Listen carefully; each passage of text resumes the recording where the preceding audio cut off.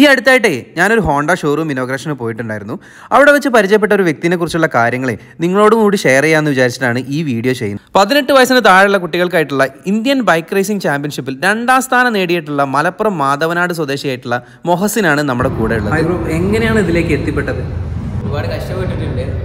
പതിനാറാമത്തെ വയസ്സിലാണ് ഞാൻ ഓണ്ടന്റെ ഒരു ടാലന്റ് കപ്പ് എന്ന് പറഞ്ഞിട്ടുള്ള ഒരു പ്രോഗ്രാം അത് ഈ പ്രായം കുറഞ്ഞിട്ടുള്ള ഐ മീൻ പതിനെട്ട് വയസ്സിന് താഴെയുള്ള ബൈക്ക് ഓടിക്കാൻ അറിയുന്ന ടാലന്റഡ് ആയിട്ടുള്ള കുട്ടികളെ സെലക്ട് ചെയ്ത് അവർ തന്നെ ട്രെയിനിങ് ചെയ്ത് നാഷണൽ ലെവലിലും ഇന്റർനാഷണൽ ലെവലിലൊക്കെ റേസ് ചെയ്യിപ്പിക്കുന്ന ഒരു programme Honda India talent cup Honda F fifty second runner up ആയിട്ടുണ്ട് ടൂ തൗസൻഡ് ട്വന്റി വൺ സീസണിൽ അതുപോലെ തന്നെ കേരളത്തിൽ നിന്നുള്ള ഹോണ്ടയ്ക്ക് വേണ്ടി റേസ് ചെയ്യുന്ന ഏക മലയാളി നിലവിലിപ്പോൾ ഞാനാണ്.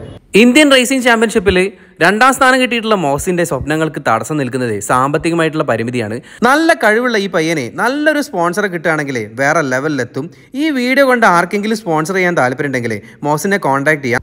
നമ്പർ ഞാൻ ഡിസ്ക്രിപ്ഷനിൽ കൊടുത്തിട്ടുണ്ട്. അപ്പോഴേ പുതിയൊരു വീഡിയോ ആയിട്ട് വീണ്ടും പാക്കലാം.